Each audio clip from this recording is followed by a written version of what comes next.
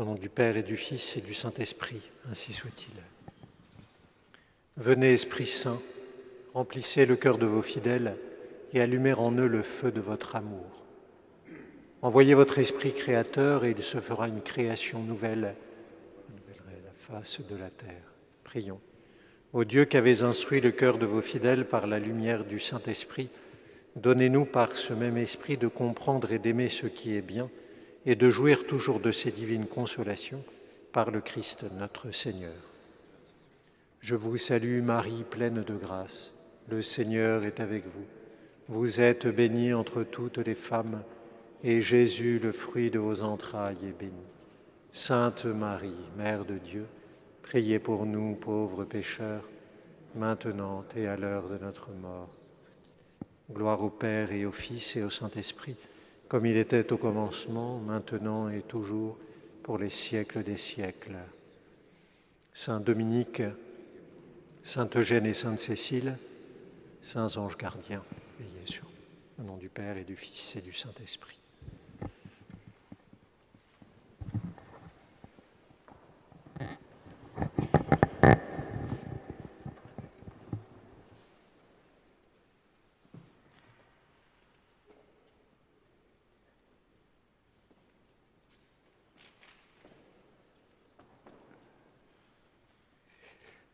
Dans cette deuxième instruction, après avoir parlé de ce que le Concile de Trente appelle une préface, le catéchisme du Concile de Trente, une préface pleine de mystères, nous allons aborder l'ordre des demandes et ensuite nous parlerons de la première et de la deuxième demande du Pater. Nous avons vu déjà, je crois, avec saint Thomas d'Aquin, que la prière peut être qualifiée de l'interprète du désir en fait, quand nous demandons quelque chose, c'est parce que nous le désirons. Et euh, on peut demander euh, avec euh, justesse ce qu'on peut désirer avec rectitude. Et l'oraison dominicale nous fait remarquer le docteur commun, non seulement demande toutes les choses que nous pouvons désirer convenablement, mais en plus elle les donne dans l'ordre où il faut les désirer. Donc c'est une grande force parce que euh, elle nous enseigne à demander tout ce qui est nécessaire, mais aussi elle forme notre volonté, notre affectivité. Elle est informative, nous dit saint Thomas, de toute notre affection, de tout notre désir. On a l'ordre du désir dans l'ordre des prières. Alors l'ordre donc euh, du désir, il, est évidemment calqué sur celui de la fin. Ce qu'on veut d'abord, c'est la finalité, et ensuite les moyens qui y conduisent. Et notre finalité, c'est Dieu. Nous allons voir, Dieu est l'objet des deux premières demandes, la sanctification du nom, la venue du règne. Et pour les moyens, on doit distinguer ceux qui conduisent à la fin et puis ceux qui, au contraire, servent à écarter des obstacles qui empêcheraient la fin. Les moyens donc, qui conduisent à la fin, on distingue deux types de moyens qui font la troisième et la quatrième demande. Certains ont un lien nécessaire rigoureux, essentiel avec la finalité, et c'est l'action méritoire. C'est ce que nous demanderons dans la troisième demande, de faire la volonté de Dieu. C'est le moyen indispensable. Et puis un moyen instrumental qui, euh, qui aide notre action méritoire, qui nous permet d'exister, de vivre, etc., c'est ce qu'on appelle le pain quotidien pris dans un sens très large. Donc la troisième et quatrième demande. Ensuite, il y a les obstacles. Donc il faut les écarter. Et donc les trois dernières demandes concernent la façon d'écarter les obstacles. On écarte le péché par le pardon des offenses. On écarte la tentation par le fait de ne pas y succomber. Et puis on écarte les différentes pénalités qui se présentent dans notre vie par la libération du mal, qui est la septième demande. Donc on voit cet ordre euh, magnifique euh, impressionnant, une architecture correspondant à la structure même du, vouloir humain et au fond de l'essence de l'homme qui est fait pour Dieu. Donc je fais une remarque sur les trois premières demandes, hein, que votre nom soit sanctifié, que votre règne arrive, que votre volonté soit faite. Euh, vous remarquerez que deux de ces demandes sont au passif, hein, que, votre, euh, que votre nom soit sanctifié, que votre volonté soit faite. C'est ce qu'on appelle le passif divin c'est-à-dire que ça reste ouvert, vous voyez, euh, sur euh, votre nom soit sanctifié par qui? Ben, Par vous et par moi, et que votre volonté soit faite par qui? Par vous en moi et par moi pour vous. Voilà. Donc c'est extrêmement subtil. Euh, les, pères, les, les, exégètes ont bien regardé ça très près. Hein. Ce passif divin qu'on trouve à plusieurs reprises dans les paroles de notre Seigneur, qui permettent de mettre en lumière le mariage de l'action divine qui est toute puissante. C'est elle qui agit principalement. Si elle n'agit pas, on peut rien faire. Mais ensuite, nous, nous agissons sous l'action divine. Dieu nous meut pour que nous fassions quelque chose. Et donc nous-mêmes, nous faisons volontairement quelque chose. Nous demandons à Dieu, écrit le Père Carmignac, d'assurer efficacement sa gloire, mais nous lui demandons aussi la grâce d'y contribuer, d'être engagé dans le fait de procurer cette gloire. Et c'est pourquoi il y a ce passif mystérieux, le passif divin. Euh, un, auteur euh, du 5e siècle a remarqué à ce propos-là, Vois comme l'Évangile s'exprime avec justesse. Il ne dit pas Père, sanctifie ton nom en nous, simplement. Il ne dit pas non plus Sanctifions nous, les hommes, sanctifions ton nom. Mais il a employé une formule ambivalente et impersonnelle. En effet, de même que l'homme ne peut faire le bien s'il n'a pas l'aide de Dieu, ainsi Dieu ne réalise pas le bien en l'homme si l'homme ne le veut pas. La fameuse phrase de Saint Augustin, Dieu t'a créé sans toi, évidemment, il ne pouvait pas me téléphoner à l'avance pour me demander ce que j'en pensais. Quoi. Donc voilà, c'est la source de l'angoisse métaphysique au fond. Hein, c'est que Dieu ne nous a pas téléphoné avant. Voilà. Et heureusement, parce que c'était pas possible. Donc il n'a créé sans moi, mais il ne me sauvera pas sans moi parce que j'existe et je suis son image. Donc euh, voilà. Une très belle, très, très beau passif divin. Et puis, autre remarque sur les trois premières demandes. En fait, elles sont toutes commandées par, euh, comme, euh, sur la terre comme au ciel. Ça s'applique pas uniquement à la, demande sur la volonté à la troisième. Hein, il faut dire, enfin c'est ce qu'a pensé euh, Origène, et euh, c'est repris par le catéchisme du Concile de Trente. Et puis des études sur l'art poétique sémite ont montré que, en effet, sur la terre comme au ciel, ça vaut pour les trois demandes. Hein. Donc ça correspond à ceci, que sur la terre comme au ciel, soit sanctifié ton nom, soit manifesté ton règne, et soit faite ta volonté. Donc il y a cette cascade, vous voyez, mais euh, bien, bien disposée avec euh, un effet d'inclusion euh, assez merveilleux. Donc voilà un peu pour la remarque sur l'architecture du Notre Père et puis le, la, spécificité de ces trois premières demandes qui, qui vous le voyez, visent Dieu. Le, pater est essentiellement euh, théocentrique. Hein, Alors d'abord la première demande, que votre nom soit sanctifié.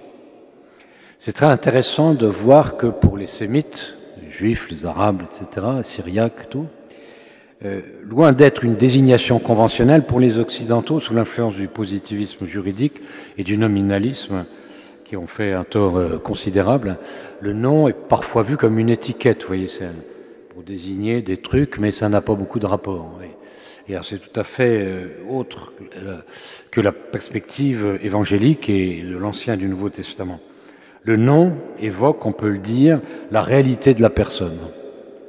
On pourrait dire, dit le père Rogatien Bernard, que je crois déjà cité, qui a écrit ce beau livre sur le mystère de Jésus, on pourrait dire que le nom évoque la part accessible de son mystère. Si je peux appeler quelqu'un, c'est que j'ai une certaine prise sur un aspect de son être. Sinon, je pourrais même pas m'adresser à lui. Si, je peux faire une parole ou une pensée, c'est qu'il y, y a un être qui est là.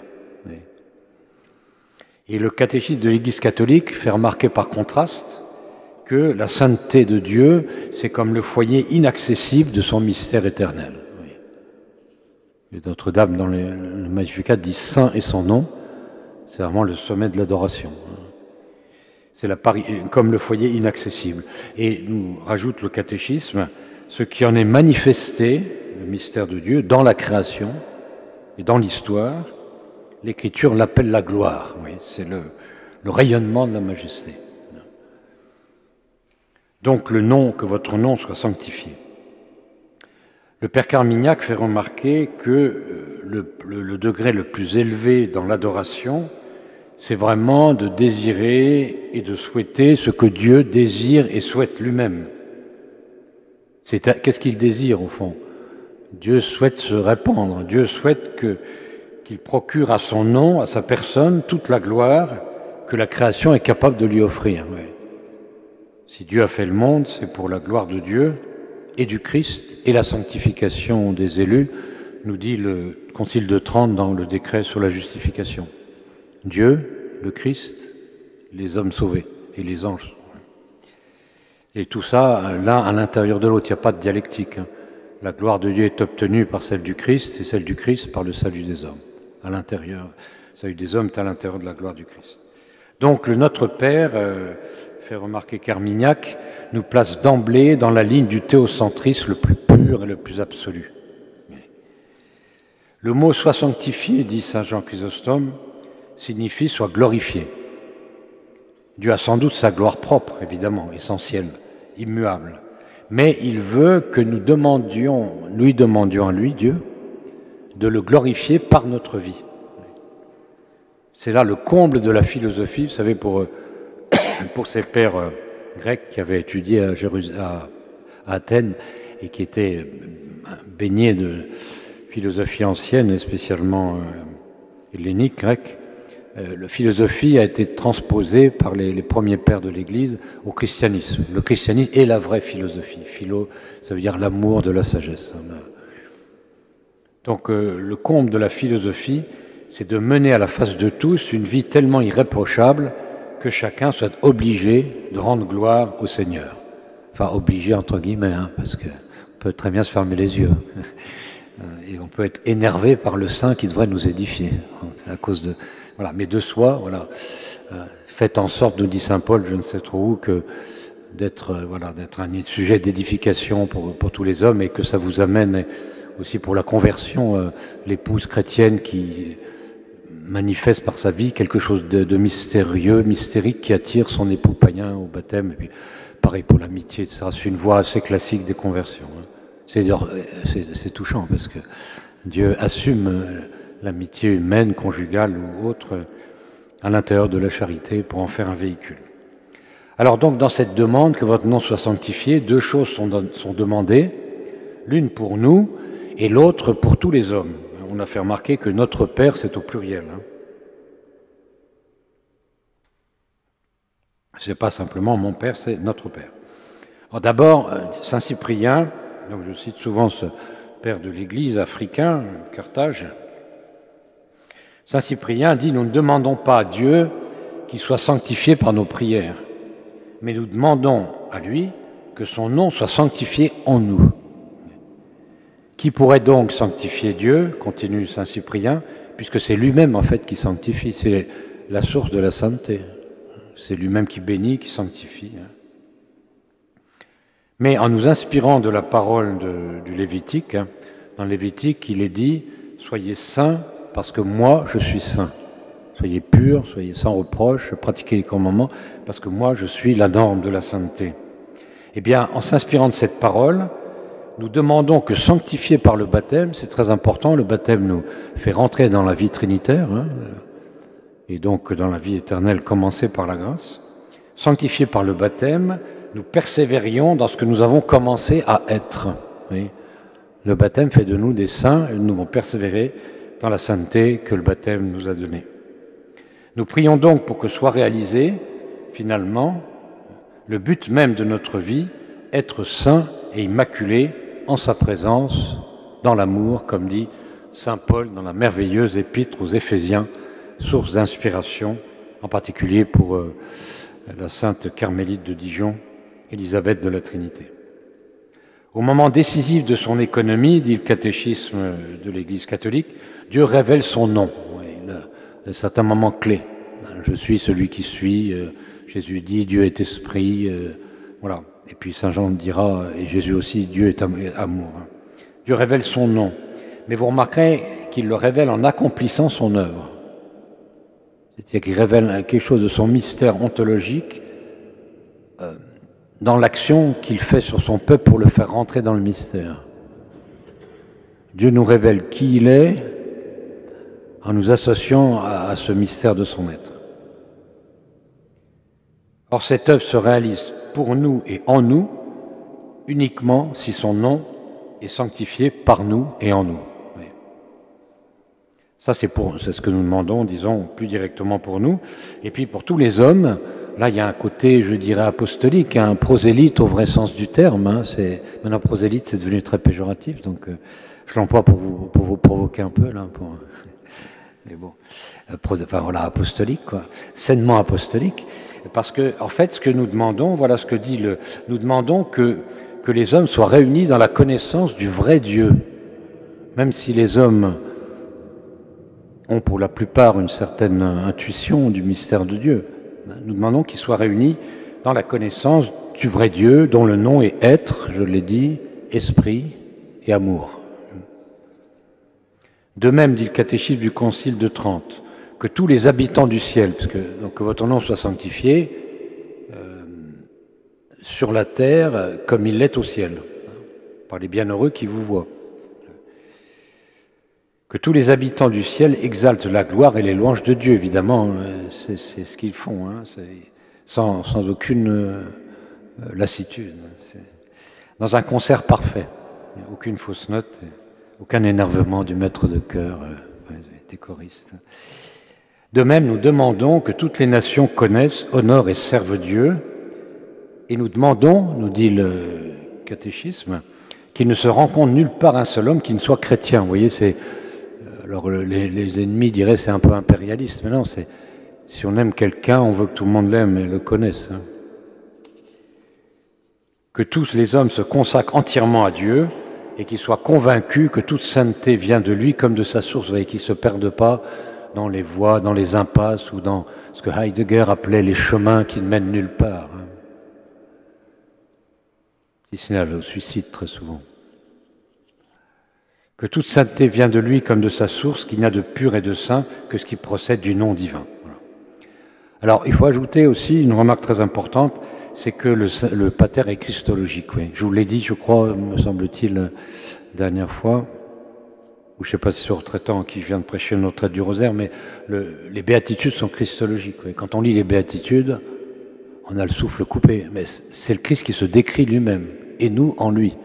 Donc tout change. Oui. Bah, le Notre Père, c'est une prière christologique. Parce que c'est seulement par le Christ unique sauveur que cela advient, que le nom est sanctifié. Il manifeste le nom du Père et il se consacre lui-même pour nous consacrer. Dans le dans l'évangile de Saint Jean, euh, il y a une phrase que, j'aime beaucoup, que j'ai choisie pour, euh, pour mon image d'ordination. Sanctifiez-les, sanctifiez-les dans la vérité. Et le terme grec, c'est euh, je me sanctifie moi-même en fait, ça peut être sanctifié ou consacré. Hein. C'est consacre-les dans la vérité, comme moi-même je me suis consacré dans la vérité par la passion et la résurrection. Donc c'est très émouvant, c'est pas une vérité, si vous voulez, froide, enfin, ou purement spéculative. Hein. C'est la vérité qui spire l'amour, hein, comme, comme, le, comme le Verbe dans la Trinité. Et c'est ainsi qu'il manifeste son nom. En fait, Dieu manifeste son nom par le Christ dans la passion et la résurrection. Le nom, le nom de Dieu le nom unique. Donc par cette demande, nous, manifestons notre admiration, bien sûr, et notre amour pour l'ineffable grandeur de Dieu. Hein. Nous, le louons pour, euh, voilà, pour ça. Le Dieu de majesté redoutable dont on parle dans le Tédéum. Hein. Mais aussi nous présentons à Dieu notre désir au sujet de tous les hommes.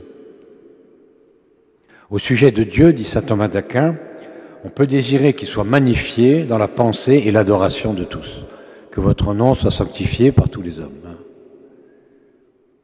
Parce que lui-même est grand en lui-même, mais il faut qu'il soit magnifié, au fond que les hommes reconnaissent le réel. Ce qui est une libération pour eux. Hein. Cela ne doit pas être réputé impossible, nous dit le docteur Angélique, car l'homme a été fait pour ceci, connaître la grandeur de Dieu. Saint Thomas y revient très souvent, même naturellement, l'homme est fait pour connaître Dieu, au moins dans le reflet euh, de Dieu dans la création, l'ordre par l'ordre et par. la plupart des hommes arrivent à, une preuve élémentaire de Dieu par l'ordre du monde. Donc voilà, connaître Dieu, mais il faut aller plus loin. Hein. L'homme a été fait pour ceci, connaître la grandeur de Dieu. S'il ne pouvait parvenir à l'apercevoir, il aurait été créé en vain. Vous voyez, si, on élimine Dieu, on rend l'homme euh, dérisoire. ce qu'on a vu avec les existentialistes, puis on le voit avec les nihilistes, avec la culture euh, de, la destruction, la cancel culture, machin, machin, tous ces trucs où finalement on, se détruit soi-même. Hein, et on rend l'homme dérisoire. Donc il aurait été créé en vain. Alors que le psaume dit non, ce n'est pas en vain que vous avez fait des fils des hommes. C'est très beau de voir que le christianisme révèle le, sens de l'existence humaine. Hein. C'est pas, un truc machin pour faire gentil, pieux en plus. Euh, quand on a le temps, non, c'est le fond des choses. Hein. Mais c'est une chose ardue, évidemment, que surtout de connaître Dieu dans la connaissance surnaturelle, qui dépasse toute faculté humaine. Donc à cette connaissance plénière de la grandeur et de la bonté de Dieu, qui est notre, notre aspiration profonde, hein, voir le, le fond du mystère de l'être et sa bonté et son amour et son rayonnement. Donc pour cette connaissance, à la connaissance plénière de Dieu, les hommes ne peuvent parvenir que par la grâce de la révélation. On a besoin que Dieu se, révèle à nous, qu'il nous dévoile son, visage, autant qu'on le peut dans la foi. Et c'est le Fils qui fait ça, c'est Jésus. Nul ne connaît le Fils si ce n'est le Père ni personne ne connaît le Père si ce n'est le Fils et celui à qui le Fils l'aura révélé. Oui, c'est assez extraordinaire dans la réflexion euh, sur la crédibilité du christianisme il me semble qu'il n'y a pas beaucoup de fondateurs de religion qui ont dit personne ne va à Dieu si ce n'est pas moi. Personne ne peut connaître Dieu si ce n'est pas moi. Sans pourtant être orgueilleux. Comme que Jésus euh, manifestait des grandes, une vie humble et pauvre, etc. Et, n'a pas réclamé le rang qu'il devait avoir. Hein. L'état normal de Jésus, c'est la transfiguration. Hein. Ben, il n'a pas été tout le temps en état de transfiguration. Afin justement de, de nous laisser venir à lui euh, dans la liberté. Afin de pas. Il y a assez de lumière pour celui qui cherche, afin qu'il trouve, nous dit Pascal. Il n'y en a pas trop, afin de ne pas aveugler les gens qui, ne sont pas en recherche et qui sont au fond, euh, qui seraient encore plus coupables. Donc il y a une pédagogie divine euh, vraiment très émouvante, enfin les, les, éducateurs le savent, hein, les prêtres. Donc voilà la première demande, que votre nom soit sanctifié, comme il est sanctifié au ciel, qu'il soit sanctifié sur la terre. Ensuite, la deuxième demande, que votre règne arrive. Donc j'emploie euh, l'ancienne... Euh, traduction qui, on verra, est peut-être plus, riche que, les, les, choses qu'on a mis ensuite. Notre fin, écrit saint Thomas d'Aquin, c'est Dieu. C'est très clair, on l'a vu. De première demande, c'est Dieu. Vers qui le mouvement de notre cœur tend à un double titre. En fait, nous allons vers Dieu parce que nous voulons sa gloire et nous voulons jouir de sa gloire. il y a deux facettes qui ne sont pas du tout opposées. Hein. C'est il est impossible de vouloir en fait euh, Dieu, la gloire de Dieu, sans vouloir en, jouir. Et c'est pas une impureté, vous voyez, contrairement à ce que pense Emmanuel Kant et puis les tenants du pseudo euh, amour pur, enfin, qui aboutissent au quiétisme et à des horreurs souvent euh, dans d'autres domaines. Hein. C'est malheureusement c'est beaucoup plus d'actualité que je ne le pensais il y a encore dix ans. Hein. L'amour pur, ça n'a pas tellement de sens. si je veux la gloire de Dieu, je veux être heureux en Dieu, et c'est pas de l'égoïsme, c'est normal, je suis fait pour ça. Je suis fait pour ça. Il s'agit dans le premier cas de la dilection que nous portons à Dieu lui-même, hein, c'est que votre nom soit sanctifié, et dans le second, de celle par quoi nous nous aimons nous-mêmes en Dieu. Il faut s'aimer soi-même en Dieu, sinon on peut aimer personne. Parce que pour aimer les autres, il faut exister. Pour exister, il faut se supporter. Il ne faut pas se suicider ou s'auto-détruire ou se, mettre des nœuds dans la tête, enfin, ou au contraire se mettre au centre de tout. De là, notre première demande, par laquelle nous demandons la gloire de Dieu, et la deuxième, par quoi nous demandons de parvenir à la gloire de son royaume. Donc voilà, c'est la demande sur le royaume qui fait suite à celle du nom dans cette architecture admirable du Notre Père que nous sommes en train de, parcourir en, balbutiant. Hein, les, théologiens un peu spirituels aiment bien ce mot-là. Oui, je vais vous dire quelque chose, en fait, je vais balbutier comme un enfant parce que ça me dépasse trop. Mais, enfin, on dit quand même quelque chose. Le silence contemplatif, c'est pas celui de la méduse ou, de la plante verte. Hein, pour, pour, se taire, il faut avoir quelque chose à dire, nous dit Heidegger. On se tait parce qu'on a d'abord lu le credo, on, a lu le, pater. Après, le silence est différent. Comme après un beau concert, vous avez remarqué, si vous êtes un peu mélomane, hein, le silence de la salle n'est plus le même que celui d'avant. Hein. Et le christianisme, c'est ça. Donc, euh, ce que nous demandons dans cette, après avoir demandé que soit loué le nom du Père dans son immense majesté, nous demandons que ce qui est inscrit en lui se répande sur nous. En fait, que l'être de Dieu rayonne. Le Père, il est source, puissance, bonté, mais que ça rayonne sur nous et sur les hommes. Donc on demande le rayonnement du nom. La Trinité sainte est notre Père. Vous voyez, c'est assez, assez émouvant que quand on dit notre Père, on s'adresse à la Trinité tout entière. Évidemment, parce que tout ce qui se passe à l'extérieur de Dieu, c'est Père, Fils et Saint-Esprit en même temps, avec chacun sa nuance propre. Mais notre Père, c'est la Trinité. Dieu est agapé, ça a été révélé uniquement par euh, le christianisme par Saint Jean, spécialement dans la première épître. Et l'agapé, c'est un type mystérieux d'amour dévoilé par le Christ. C'est pas une espèce de truc vaguement fusionnel et confus, sans objet, enfin non. L'agapé, c'est vraiment euh, l'amour dans l'ordre de l'être et du bien. Hein. Son être, l'être de Dieu est un jaillissement communicatif et gracieux, dénué de toute possessivité, dont sont souvent marquées malheureusement les amours humaines à cause du péché. L'amour de Dieu est expansif, hein. on pourrait dire qu'il est explosif puisqu'il crée le monde, il le rachète, il donne son Fils. Qu'est-ce qu'il peut faire de plus? Après, il va diviniser les hommes et le monde par participation. Donc la transcendance de Dieu se communique.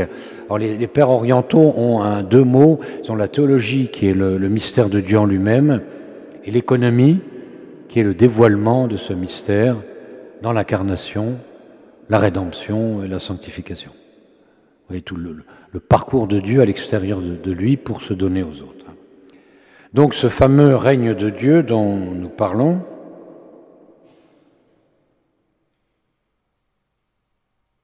Basileia tout comme on dit en grec, regnum Dei. Ça donnait le mot basileux, le roi. Ça désigne trois choses. En fait, il y a trois niveaux. C'est très intéressant, ces, ces lectures, euh, ces lectures à différents niveaux. Le règne, le royaume, la royauté. Le règne, c'est un nom d'action qui désigne l'exercice du pouvoir royal. Le royaume, c'est un nom concret qui signifie le territoire, ou bien les personnes sur lesquelles s'exerce euh, ce pouvoir. Et puis la royauté, c'est un terme abstrait qui est la dignité royale de Dieu. Donc en fait, euh, c'est souligné aussi par le catéchisme de l'Église catholique, la royauté s'exerce dans le règne sur le royaume. Alors nous allons voir ces trois aspects en, spécifiant, en traduisant, si vous voulez, à chaque fois la demande euh, de telle sorte qu'ils apparaissent plus spécifiquement. D'abord que votre règne arrive. Donc une petite nuance, hein, euh, quand on arrive, on est proche du but. Hein. Euh, ça, le père Carmignac qui tient assez, je crois que c'est plus juste. Hein.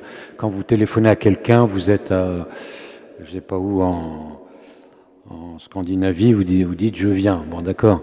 Puis vous êtes à Roissy, vous dites voilà, j'arrive. Vous êtes un peu plus près, quoi. Ou bien sur le quai à Montparnasse, j'arrive. Je suis là. Des petites nuances. Bon, enfin, pas non plus se déchirer pour ça, mais enfin, c'est plus poétique aussi d'arriver que de venir. De même que la sanctification du nom, c'est la reconnaissance par les hommes de l'être de Dieu. Hein. De même, l'arrivée du règne, c'est la reconnaissance par les hommes de sa providence. Évidemment, Dieu règne déjà sur la terre. Il a régné depuis la création du monde, nous dit Saint Augustin. Mais ce mot qu'il arrive signifie qu'il soit manifesté aux hommes. La lumière, même si elle est présente, n'existe pas pour les aveugles, ni pour ceux qui ferment les yeux. Donc on demande aux gens d'ouvrir les yeux à la présence de Dieu, à sa révélation. Ainsi, le règne de Dieu, continue Chrysostome, quoique permanent sur la terre, est absent pour ceux qui l'ignorent. Donc, on, vous savez, le terme de règne, on l'emploie, on parle de règne minéral, euh, végétal, animal, etc. De même que l'homme appartient à tout ça, il appartient au règne de Dieu en ce sens qu'il doit collaborer librement au plan de la sagesse créatrice. Cette demande, donc je l'ai déjà indiqué, est formulée dans le, passif théologal ou divin hein, que, votre règne soit rendu présent par vous en moi. Hein, donc, euh, voilà. Qui exprime l'intime collaboration de Dieu et de la créature raisonnable. Dieu vient en se manifestant, euh, en fait, Dieu vient en, dévoilant la liberté humaine. Le fait que je sois libre est une épiphanie du mystère de Dieu. Et c'est très beau. Le christianisme n'a pas peur de la liberté. Hein, c'est les c'est les totalitaires et les libéraux euh, radicaux qui ont peur de la vraie liberté. Hein. C'est pour ça qu'ils nous embêtent avec toutes sortes de choses. Nous demandons, dit Saint Cyprien, que nous soit rendu présent le règne, comme nous souhaitons qu'en nous son nom soit sanctifié. Vous voyez, le, mot règne, c'est un mot qui désigne une action commune. Vous voyez, quand on dit le silence règne dans un groupe, c'est que tout le monde fait la même chose et une attention à la musique, à, ce qui se passe. le, silence du canon, par exemple, chez les Occidentaux, il y a une partie de la messe euh, en silence. Et euh, j'y pensais tout à l'heure en assistant à la messe de Monsieur le Vicaire. Il y a un une participation active. Hein. On, fait tous la même chose. On est tous euh, relatifs à quelque chose qui nous dépasse. Hein. C'est une participation active, donc on réalise parfaitement les demandes de Sacrosanctum Concilium, la constitution conciliaire. Aussi bien et parfois peut-être plus profondément qu'avec d'autres formes de participation. Enfin, ça n'empêche pas de dire être cum spiritu tuo, bien sûr, ça aussi. Et aussi, on a, une voix, on a, un corps, enfin bon, tout. Quoi. Voilà, mais c'est pour dire que le règne, c'est quelque chose de profond. Le règne est déjà là dans la création, il se perfectionne dans la providence, surtout dans le gouvernement des hommes qui sont libres, hein, et surtout quand Dieu élève l'homme à la grâce. Euh, là, le règne avance. Au moment où Dieu a élevé Adam à la participation un mystère de, voilà, de la grâce surnaturelle, voilà, le royaume a avancé, et puis euh, il se rend présent dans le Christ. En fait, le Christ rend présent le règne. À partir du moment où il est là, euh, Jean-Baptiste l'a dit, le, règne est tout proche, et, Jésus arrive, c'est le règne. Parce que le Christ manifeste le nom de Dieu aux hommes pour qu'ils soient sanctifiés dans la vérité. Donc la grande innovation, nous dit le Père Carmignac du Nouveau Testament, c'est qu'il y a un royaume, enfin un règne d'abord, qui n'a rien de politique, mais qui groupe toutes les âmes qui acceptent le règne de Dieu sur elles. Le royaume va être constitué des gens qui acceptent cette action commune avec Dieu. Le royaume est appelé la justice, nous dit le catéchisme du Concile de Trente, parce qu'il est fondé sur la justice de Jésus-Christ.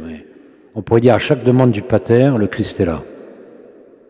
Ce fait qu'on peut réciter le Pater euh, avec émotion en nous unissant euh, ou en répétant ce qu'a dit le Christ selon les différentes traditions liturgiques. C'est de lui, continue le catéchisme, que le Seigneur parle dans Saint Luc, quand il dit Le royaume de Dieu est au-dedans de vous. Et ce règne, ça c'est moi qui ajoute cette remarque, s'oppose uniquement au moi égocentrique. Oui. Quelqu'un qui est dominé par lui-même, c'est lui qui règne sur lui, c'est pas très intéressant. Il s'oppose au monde aussi, au sens où le monde a tend à nous détourner du Christ, au prince de ce monde qui est Satan, on a vu dans l'évangile d'aujourd'hui. Hein. Parce que c'est un tyran, le, démon est un tyran. Tel que Christ, c'est un roi qui libère. Et puis 11, dans l'encyclique Quas Primas, euh, sur l'établissement de la fête du Christ roi, dans, cette encyclique souligne que euh, ce règne s'oppose uniquement à Satan et à la puissance de ce monde. Alors bien sûr, il est intérieur, mais euh, il, est quand même, visible. Hein. L'Église est constituée par un sacrement dont les effets sont invisibles, qui est le baptême, mais elle est visible. Et nous-mêmes chrétiens, nous sommes comme ça aussi. Hein. Donc ça, c'était le premier aspect, hein, que votre règne arrive. Deuxièmement, que les hommes entrent en votre royaume. L'action de Dieu et de l'homme sous Dieu constitue un ensemble de personnes, ou une zone de l'être, si vous voulez, où les gens sont avec Dieu. Le règne et le royaume, dit le Père Carmignac, c'est au fond deux aspects de la même réalité. C'est parce que Dieu règne dans le cœur des hommes que ceux-ci forment un royaume. C'est par le même acte que l'homme accepte le règne de Dieu. Dieu est en train d'agir sur moi par la grâce. Et donc, si je dis oui, je rentre dans son royaume qui est l'Église. Donc ce règne, on l'a vu déjà, est présent en Jésus-Christ. Disons que Jésus-Christ inaugure le règne, mais c'est beau de penser qu'il grandit. Le règne est inauguré par Jésus-Christ, il grandit dans l'Église jusqu'à la fin des temps, et il sera consommé euh, à la parousie, au jugement dernier. Donc vous voyez, c'est un règne qui, euh, qui augmente. Notre Père, dit le Père Carmignac, demande au fond que le pouvoir royal de Dieu s'exerce plus totalement et plus largement. On n'hésite pas à demander ce qu'il y ait plus d'hommes qui en bénéficient, c'est normal. Hein nous supplions Dieu de faire parvenir son règne à des âmes de plus en plus nombreuses, et des âmes qui se soumettront de mieux en mieux à sa royauté, qui va les libérer. Hein. servir le Christ, c'est régner. Par le fait même, ces âmes entreront dans le royaume de Dieu qui se constitue progressivement sur la terre depuis l'avenue du Christ jusqu'au jugement dernier. Et le catéchisme du Concile de Trente fait remarquer que donc nous n'hésitons pas à demander la conversion des infidèles, des juifs, des schismatiques, des hérétiques et, là, aussi celle des, mauvais chrétiens, afin que vraiment, euh, pour, les, pour ces derniers, qu'ils soient dans le, la cohérence avec euh, leur promesse de baptême et, au fond avec leur être profond. Le péché du chrétien est plus grave que celui du non-chrétien, toute chose étant égale par ailleurs. Alors quand on nous dit que le christianisme est une religion pour les gens qui veulent se rassurer, euh, oui et non, quoi. Enfin, bon. Mais il faut quand même être chrétien, c'est quand même mieux. Hein, Mais enfin, voilà. C'est pourquoi? Parce que nous avons la grâce, nous avons plus de grâce. Donc nous demandons du catéchisme du Concile de Trente hein, que, ces, chrétiens pécheurs soient rétablis dans leur première dignité d'enfants de Dieu. si on l'a perdu, qu'on soit rétablis. Hein. Saint Jean Chrysostome nous dit, voilà, le règne est là, mais on est tyrannisé quand même par les concupiscences charnelles, hein, les mauvaises, euh, voilà, mille tentations. Nous avons besoin du règne de Dieu, de peur que le péché ne règne en nous. C'est l'un ou l'autre, quoi et ne nous rende esclaves des passions, de peur encore que nos membres ne deviennent des instruments d'iniquité pour le péché, mais afin qu'ils soient des instruments de justice aux yeux de Dieu, et qu'on soit rangé dans l'armée du roi des siècles. Donc, euh, comme Dieu est celui qui est, qui était et qui vient, comme on le voit dans le chapitre 1 de l'Apocalypse, ainsi le royaume de Dieu est déjà là en un sens. Le Christ a fondé son royaume, qui est l'Église, malgré le paganisme et l'oppression de l'Empire romain. C'est quand même c'est le miracle fondamental d'après Saint Jean, euh, d'après saint Thomas d'Aquin, euh, Blaise Pascal et aussi le père euh, Lagrange. Hein. La conversion du monde dans des conditions où c'est très difficile de se convertir. Hein. Donc je vous cite un, un passage que je trouve évocateur et significatif d'une prédication du père Lacordaire à Notre-Dame Non, donc cette prédication, c'est sur l'établissement du règne de Jésus-Christ. Donc il montre que Jésus a obtenu en fait une royauté de l'intelligence, de l'amour et de l'adoration.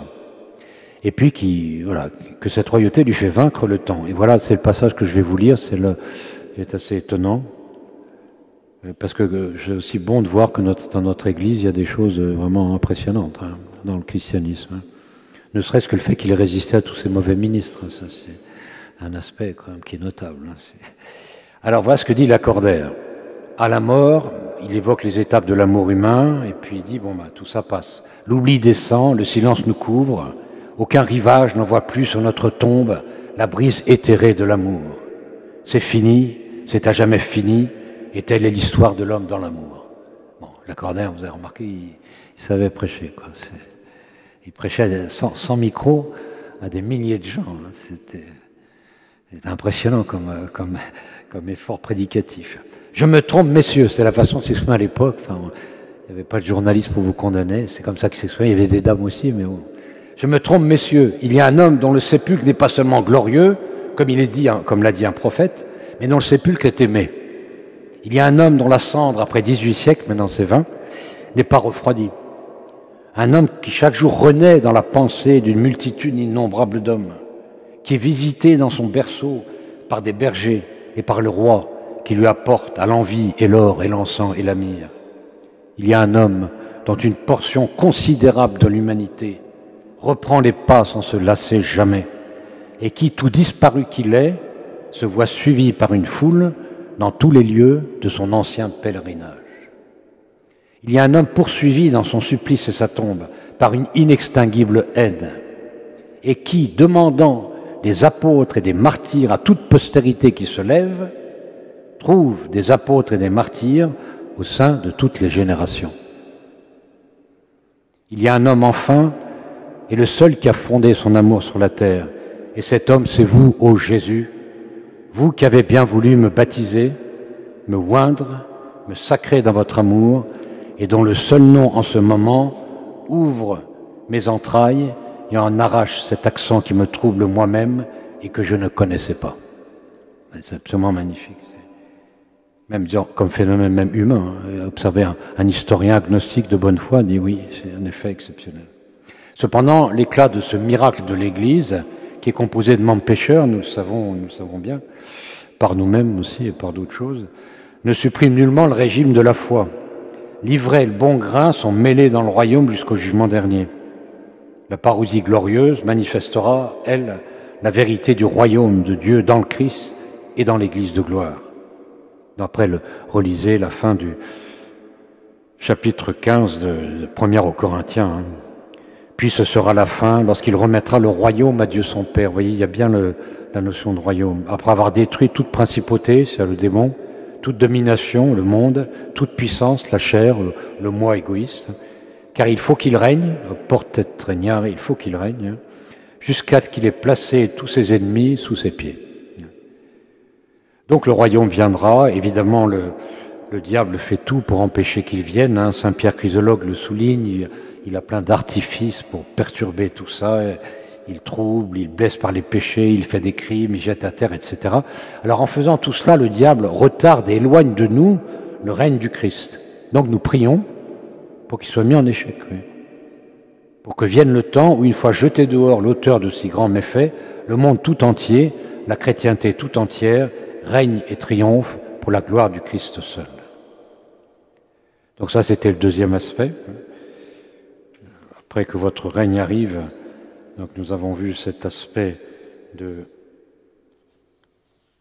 royaume qui, grandit. Et maintenant le dernier aspect pour conclure cette instruction, que votre royauté soit participée en nous, que la dignité royale de Dieu soit participée dans les élus. Et là, évidemment, euh, nous retrouvons, euh, euh, c'est la gloire du paradis que nous demandons. Hein, c'est notre Père qui est aux cieux. Non, voilà. Quel est donc le règne dont tu souhaites la venue, dit saint Augustin? C'est celui dont parle l'Évangile. Venez les bénis de mon Père, prenez possession du royaume préparé pour vous dès l'origine du monde. Tel est le règne visé par cette parole, que votre règne arrive. Nous demandons qu'il vienne en nous, nous demandons d'être trouvés en lui. Ce règne viendra sans aucun doute, mais ce sera en pure perte pour toi si tu te trouves à gauche dans les réprouvés. Donc ce que nous demandons, c'est la gloire du paradis pour nous et pour les hommes.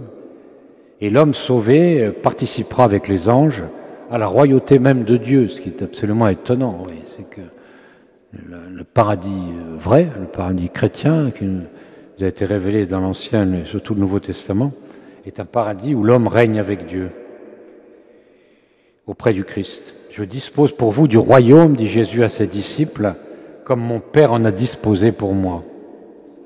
Et dans l'Apocalypse, nous avons ce passage émouvant, celui qui vaincra, je lui donnerai de prendre place auprès de moi sur mon trône. C'est toujours cette notion de, de règne. Comme moi-même, après ma victoire, j'ai pris place auprès de mon Père sur son trône. Donc en fait, ce que nous demandons, c'est la vision béatifique, c'est de participer à la royauté de Dieu en voyant face à face le mystère de l'essence féconde dans la Trinité des personnes. Le Fils toujours naissant et l'Esprit toujours spiré, procédant du Père et du Fils comme d'un unique principe. Par la vision même de Dieu, dit saint Thomas, l'âme bienheureuse est une avec Dieu en son acte d'intelligence. C'est pourquoi elle règne avec lui. Dieu régnant dans ses saints, eux-mêmes régneront avec lui. Vous avez fait d'eux, nous dit chapitre 5 de l'Apocalypse, vous avez fait d'eux pour notre Dieu, donc en s'adressant à Jésus, une royauté de prêtres régnant sur la terre. Donc c'est bien heureux de voir que dès cette deuxième demande, nous avons les yeux fixés sur euh, l'éternel bonheur. Cette vision, c'est la vie éternelle elle-même. C'est qu'ils te connaissent, toi le seul vrai Dieu, et celui que tu as envoyé, Jésus-Christ. Alors Saint Thomas nous fait remarquer qu'en fait, dans la vision, Dieu nous est rendu présent. Vous voyez, la, vision de Dieu, c'est une présence de Dieu en nous, Et du fait que nous le voyons, notre, notre volonté est enflammée d'amour. Il est impossible de voir celui qui est le bien infini euh, sans l'aimer, autant qu'il est aimable, autant que nous pouvons l'aimer, disons plutôt, autant que nous pouvons l'aimer. Hein. Il est impossible de, de voir l'essence de la beauté de la bonté, nous dit Denis l'Aréopagite, euh, sans, sans l'aimer. Donc l'âme, à ce moment-là, sur, la terre comme au ciel, ça que nous demandons, que sur la terre ça commence à arriver, puis ce soit achevé au ciel, que cette royauté soit déjà participée en nous. Le ciel, c'est Dieu, Dieu est dans mon cœur. Le jour où j'ai compris cela, ma vie a été transformée, nous dit Élisabeth de la Trinité. L'âme est au sommet d'une joie qui est la consommation de la béatitude. Et elle se nourrit au banquet, c'est l'image prise par Jésus, de la joie dont Dieu jouit en lui-même. Rentre dans la joie de ton maître. Moi, je dispose pour vous du royaume, dit Jésus à ses apôtres. Vous mangerez, boirez à ma table dans mon royaume. C'est toujours cette image du banquet qui est expressive. Et vous siégerez sur des trônes pour juger les douze tribus d'Israël. Donc évidemment, je dirais que c'est ontologiquement et psychologiquement motivant, euh, euh, surtout pour traverser les, obscurités, les brouillards du temps, de regarder la lumière euh, éternelle qui commence à sourdre dans notre âme et par la grâce sacramentelle. Hein. Plénitude des biens, celui qui est uni à Dieu lorsqu'il participe sa royauté. Plénitude des biens spirituels et corporels, abondance complète. Pleine sécurité, par l'absence définitive de tous les maux, certitude de toujours garder euh, mon amour, personne ne vous l'enlèvera parfaite tranquillité de la paix, l'ordre, la jouissance de l'ordre. Jouissance, alors une jouissance extrême, vous voyez, Saint Jean de euh, Chrysostome dit aux, païens, de, enfin aux, demi-chrétiens de Constantinople ou d'Antioche, vous, dites que nous, les chrétiens, nous n'aimons pas le plaisir, mais nous l'aimons plus que vous. Nous aimons le plaisir dans la beauté. Et donner métacosmo, le, le plaisir dans l'ordre jouissance avec un désir toujours renouvelé de l'éternité même de Dieu, qui, d'après le Père Garrigou-Lagrange, peut être euh, approché ou esquissé euh, au parvis du mystère comme ceci, un pur éclair intellectuel éternellement subsistant et la vive flamme de l'amour sans mesure. Donc tel est l'éclat du mystère de cette royauté que nous demandons d'arriver, que nous demandons à Dieu de participer, où Dieu sera tout en tous.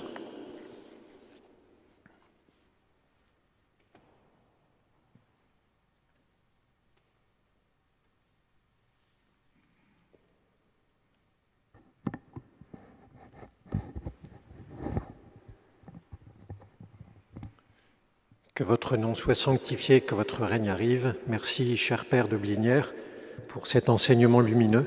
Puissions-nous méditer largement tous ces mots qui nous ont été donnés. Puissions-nous approfondir la prière du Pater.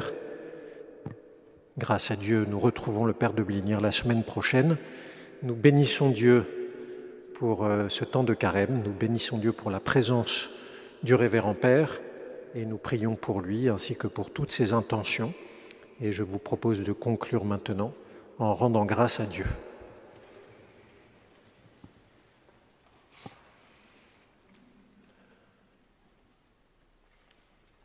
Nous vous rendons grâce, Seigneur, pour tous vos bienfaits, vous qui vivez et régnez pour les siècles des siècles, Saint Dominique, Sainte Eugène et Sainte Cécile, saints anges gardiens, au nom du Père et du Fils et du Saint-Esprit, ainsi soit-il.